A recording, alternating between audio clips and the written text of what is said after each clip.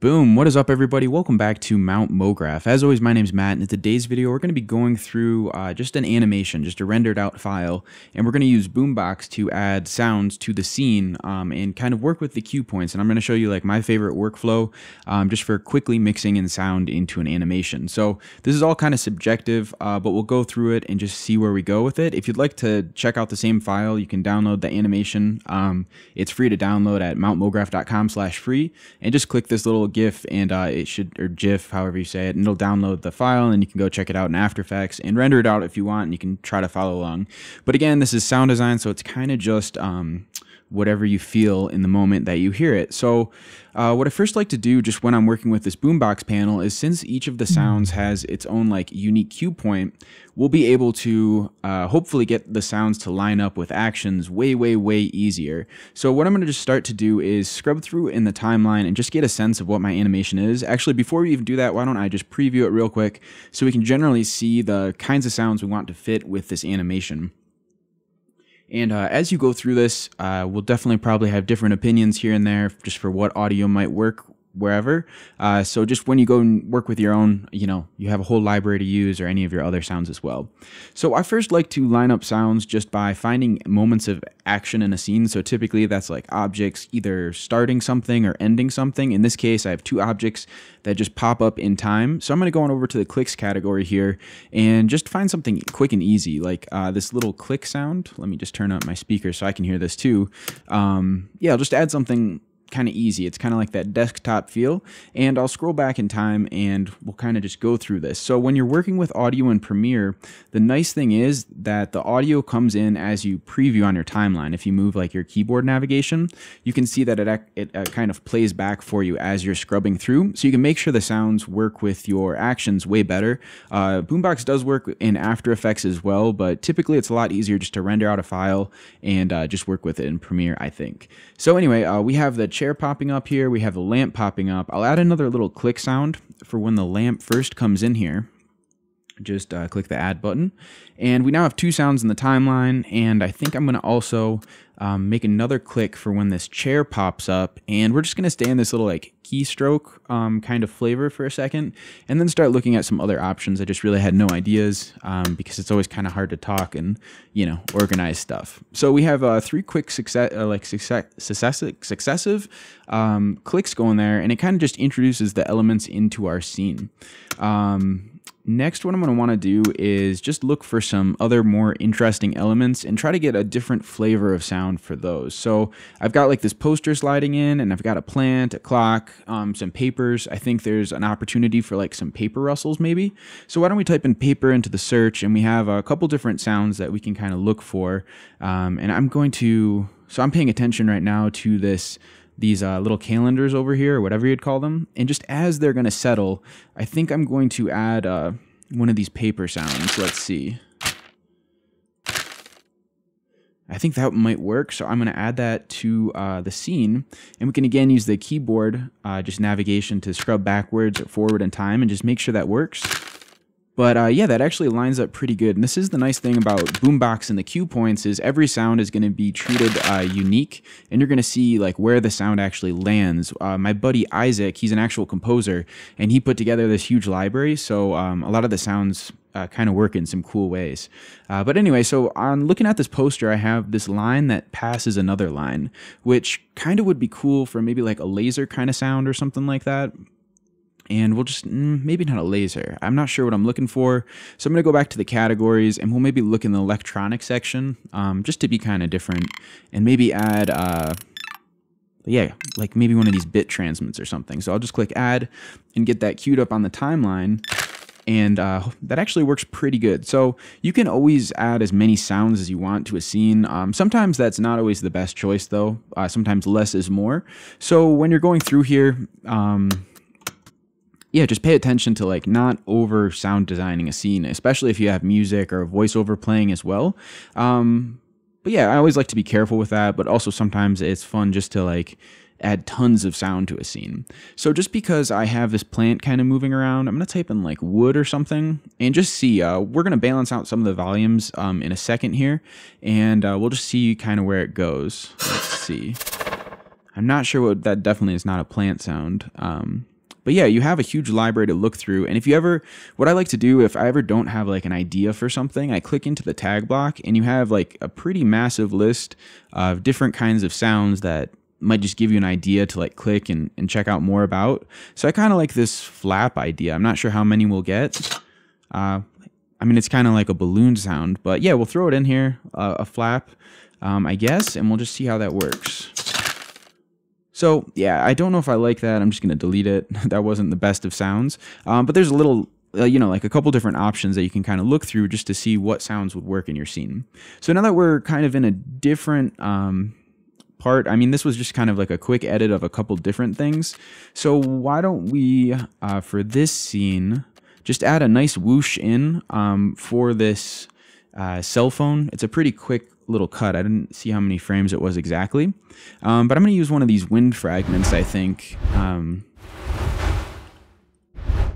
that might be pretty cool. So I'm just going to add that to the timeline when I want it to land. And we'll just go ahead and preview this real quick. And that actually didn't line up great. So if I do Command Z, you can always just like uh, get rid of these sounds. I think I want to find a better moment. Um, with that wind sound, like some, this is the nice thing about seeing the cues, is you kind of see like where the sound is actually going to be placed on your timeline. Because the cue point is going to go where your timeline indicator is. So that's why I like to try to find the elements or moments that I want that sound to kind of hit. So actually in this part, it might just be when we cut to the frame that we're going to want to introduce this wind element. And we'll see how that works. So, I mean, it fits the scene a little bit better if you're, you know, not talking or whatever else. Um, might be a little bit easier to find stuff. Uh, but yeah, so we'll just kind of quickly go through here and maybe do, maybe we'll find another scene that's a little bit more interesting that than that one or this one. Um, let's see. I think there's some cool stuff near the end. Yeah, so maybe this one will be a fun section. Um, more electronic or futuristic. So I'm just going to type in electronic and we'll kind of go through um, this category and just add a bunch from here and see if it kind of works. Um, I like that kind of glitched out sound. So again, just when an element is like being introduced into the scene, um, that's normally a great opportunity to add some kind of cue. Um, also letting the viewer know that the sound is like entering the scene. So I mean, that worked pretty good. Um, we have a lot of little elements also kind of happening. So let's click through these categories and just see if we have um, anything that is like a little bit, I'm not even sure what the word would be, but we want something maybe a little bit more like scattered or, or multiple, like a sound that kind of has a, a bunch of different stuff in it. So maybe these, uh, that's kind of interesting.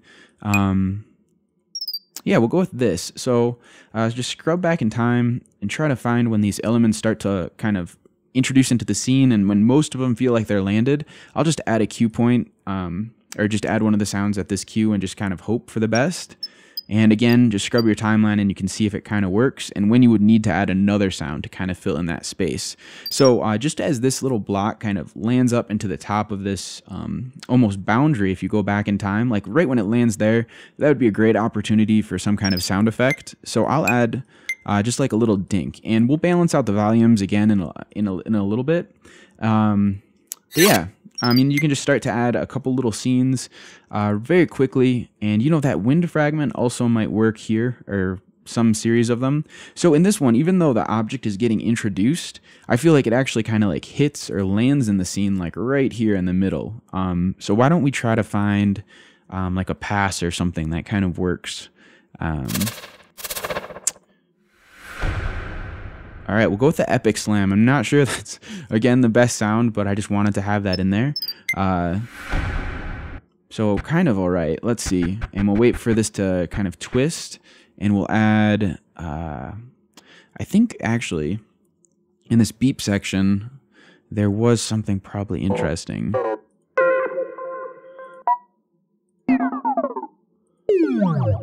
Hmm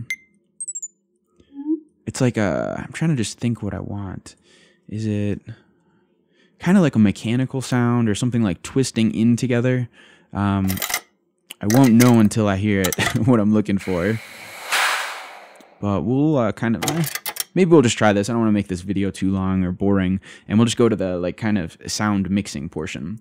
So, you know, we're just adding a couple quick little sounds to the scene and it kind of works. You know, I, I, definitely think I could have picked better sounds for each of these things or done the whole video, uh, but I don't want to be too boring. So when I like to do the sound mixing portion, I actually just hide the video and you kind of just focus on how these sounds work together. So you can, um, like maybe scroll in, make these columns bigger just to get a better view.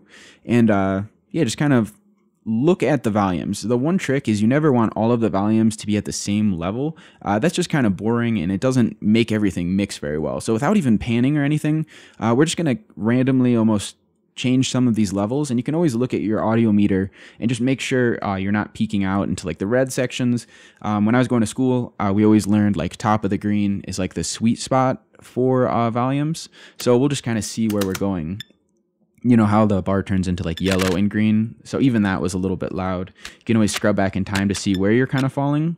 Um, but yeah so i'll turn these volumes down. And again if you had like music or a voiceover like these would be way more in the background too. And uh, yeah you just kind of like almost paint an audioscape uh, without even thinking about the animation. At least that's kind of how i approach it. And just try to like think of how the elements are playing together or working together. We'll see this section. See, that just comes in so loud. So we'll make that more subtle. And then uh, definitely if you ever have like pitch changes. So we have like two element, well, that didn't really work. Uh, but you can play, play around with like how pitches affect volume too. So like the louder uh, or like the higher note of uh, sound is, like the louder it can be in comparison to a lower note. Like you can do all kinds of quick little things um, just to make your scene look a little bit better. And yeah, so I didn't do too many audio stuff, but uh, we'll kind of see how this um, this works out. So let me scroll down here and we'll just uh, scrub all the way out here and see everything and just play this and just see um, with that slight little volume mix um, of just different levels. Hopefully it makes this feel a little bit more cohesive. Um, so let's see. And yeah, you can imagine some sound effects here.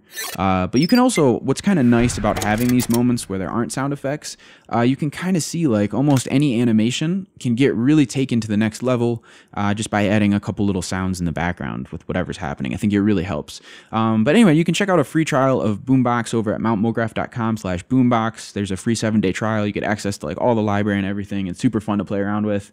Um, and yeah, thanks for checking out the video. Peace.